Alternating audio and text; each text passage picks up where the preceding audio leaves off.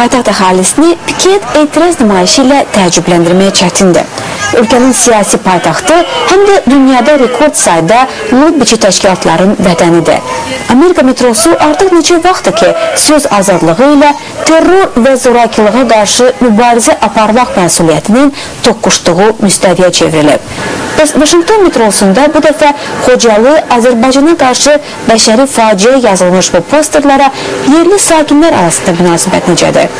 Well, I think it's good that people should know about other person's tragedy because Məncə bu çox yaxşıdır. Çünki adamlar başqalarının faciəsi barədə bilməlidirlər. Bir nəfərin faciəsi hamımızı təsirləndirir. Yəqin ki, orada da bizim kimi adamlar olur.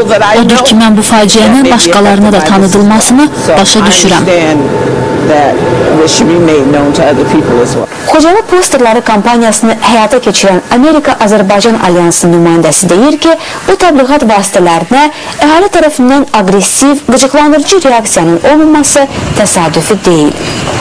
Biz yəni o hamının gördüyü şəkillərdən istifadə etməmişik, hamının gördüyü o çılpaq həqiqətlərdən istifadə etməmişik. Biz çalışdıq çox sivil qaydada, çox sakit tərzdə, amma bir kübarlıqla bu informasiyanı çatdıraq. Yəni heç bir aqressiyanın olması məncə mümkün deyil, çünki bu həqiqətdir.